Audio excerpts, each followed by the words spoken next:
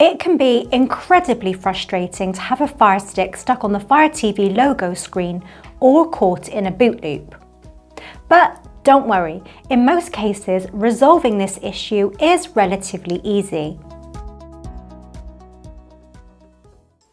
In this video, I'll provide you with some straightforward solutions. However, if these do not resolve your issue, don't worry. I do have additional advanced tips to offer as well as some valuable advice towards the end of the video, so make sure to watch to the end.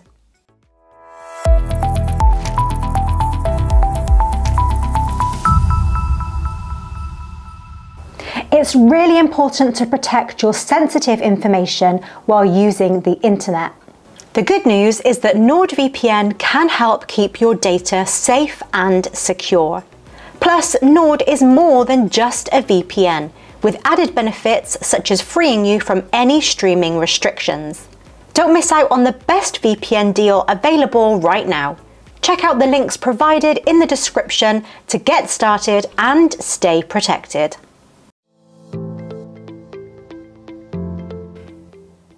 If you haven't tried it already, a simple solution to resolve Firestick issues is to allow it to cool down and power down completely. Now this may seem obvious, but it could do the trick. Remove your Firestick from the TV and the power source. If you have any attachments like an OTG cable, adapter or USB hub, remove those as well.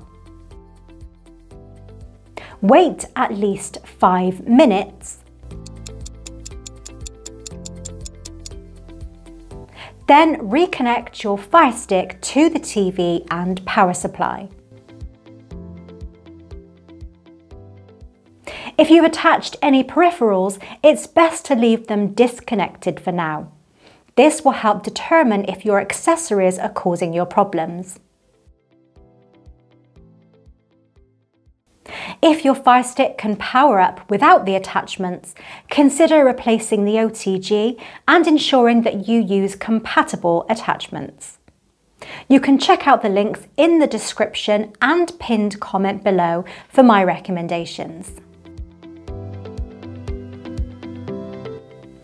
If you're experiencing an issue with your Fire Stick using a USB port on your TV or a non-original power adapter may be the cause. It's likely that your Fire Stick isn't receiving the necessary amount of power to boot up fully. For best results, use the original power adapter that came with your Fire Stick. Also, try plugging it into a different outlet. If using the power adapter doesn't solve the issue, consider replacing the power cable, preferably with the official one from Amazon that came with the device.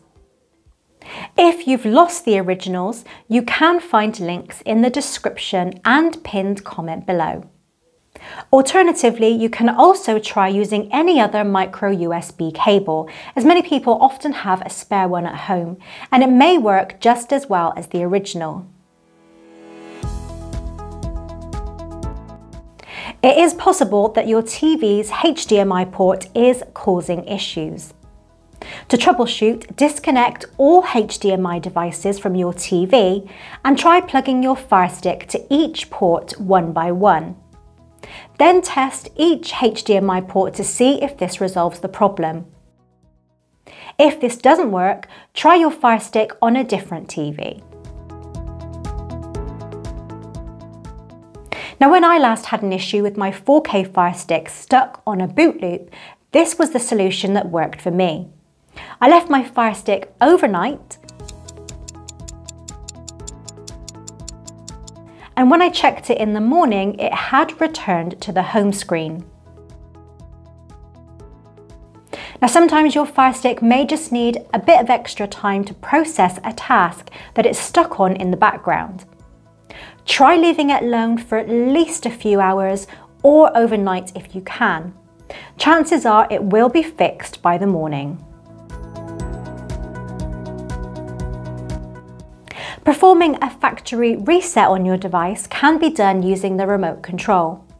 This process will restore your device to its original settings and erase all data and personalizations.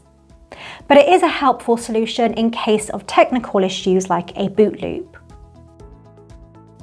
To initiate a factory reset, press and hold the right directional button and the back button simultaneously for approximately 10 seconds.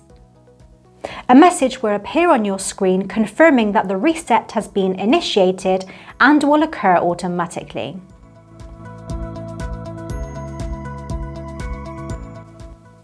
If you have a wired USB keyboard and an OTG cable or adapter, there's an advanced tip you can try.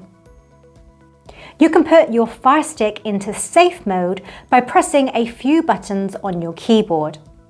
If you're interested in trying this step but don't have the necessary equipment, you can find helpful links in the description and pinned comment below. To connect a wired USB keyboard to your Fire Stick, plug an OTG cable or adapter into your device. This will create a USB port that you can use to connect the keyboard. Afterwards, plug the power supply into the OTG cable or adapter to complete the setup.